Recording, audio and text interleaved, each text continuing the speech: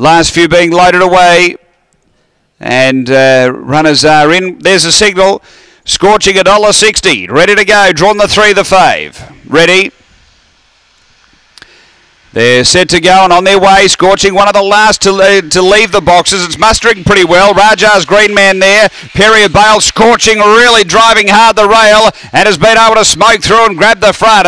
Scorching gets away by two and a half. Raja's Green Man, Perry Bale, Shana Allen, two to Honey Girl. Uh, then Crazy Sprite had wheeled them in, but Scorching has really kicked away here, out by five over Perry Bale and then Raja's Green Man and next Shana Allen straightening. It's Scorching clear. Perry Bale's uh, hanging on for second, uh, but Scorching won it well. Perry Bale does just hold second from Shana Allen third. then Raja's Green Man from Crazy Sprite. Uh, behind those is Wheel Them In, and Honey Girl was just in front of it after the running of race number eight.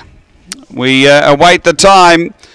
Uh, from where I was sitting, he didn't look to box the best scorching, but boy, he really hunted through well after uh, the first 10 or 15 metres was uh, into stride real quickly and charging out after those in front. We stand by for a time here and uh, he really pushed hard when there was some traffic uh, going into that first bend and took the lead and dashed away. Numbers are 3, 6, 5 and 1.